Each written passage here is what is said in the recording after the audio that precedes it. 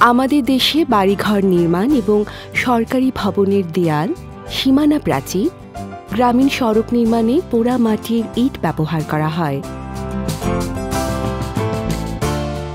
অধিকাংশ ক্ষেত্রে এসব ইট তৈরির জন্য কৃষি জমির উপরের অংশ থেকে মাটি কেটে নেওয়া হয়।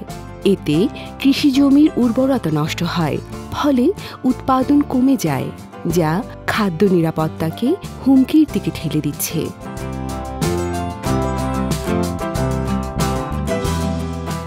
ইট পোড়ানোর সময় ভাটার চিমনি থেকে নির্গত ধোঁয়া পরিবেশের জন্য ভয়ানক ক্ষতিকর। ইট পোড়াতে অধিক হারে জ্বালানি কাঠের ব্যবহারে একদিকে বনভূমি উজাড় হচ্ছে, অন্যদিকে পরিবেশে কার্বন ডাই অক্সাইডের পরিমাণ বাড়ছে।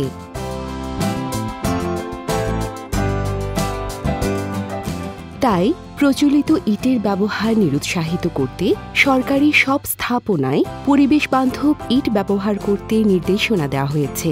আশা করা হচ্ছে দু হাজার পঁচিশ সালের মধ্যে সরকারের বেশিরভাগ স্থাপনা পরিবেশ বান্ধব ইট দিয়েই নির্মাণ করা হবে। বেসরকারিভাবেও ধীরে ধীরে এর ব্যবহার বাড়ছে। বর্তমানে দেশে বেসরকারিভাবে প্রায় তিনশো কারখানায় পরিবেশ বান্ধব ইট উৎপাদন করা হচ্ছে। পরিবেশ বান্ধব ইট উৎপাদনে পোড়াতে হয় না কোনো ধরনের গাছ, নষ্ট করতে হয় না উর্বর কৃষি জমি, দূষিত হয় না বাতাস।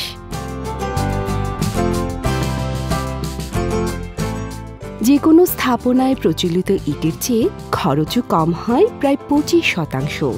তাই পোড়া ইটের বিকল্প হিসেবে গ্রাম শহরে দিন দিন এর চাহিদা বাড়ছে। কুচি পাথর, বালু, সিমেন্ট ও স্টোন ডাস্ট মিশিয়ে তৈরি করা হয় এই পরিবেশ বান্ধব ইট। এসব উপাদান সংগ্রহ করে সংরক্ষণ করা হয়। সংরক্ষণ করে রাখা বালি ও পাথর হুইল লোডার বা পে লোডারের মাধ্যমে দেয়া হয় হুপারে। এর সঙ্গে মেশানো হয় সিমেন্ট। স্বয়ংক্রিয়ভাবে মেশিনের মাধ্যমে, বিভিন্ন অনুপাত অনুযায়ী মেশানোর পর, হাইড্রোলিক প্রেসারের মাধ্যমে বিভিন্ন ডাইসে আকার দিয়ে রাখা হয় স্ট্রাইকিং জোনে। সেখানে কংক্রিটের ব্লকগুলো কিউরিংয়ের পর টেকসই ইট বাজারে সরবরাহ করা হয়।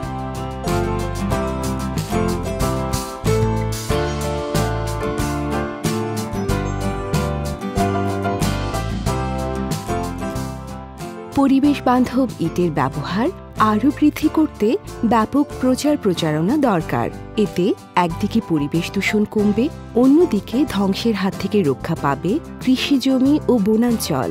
সঙ্গে অর্থনীতিতেও যুক্ত হবে নতুন অবদান।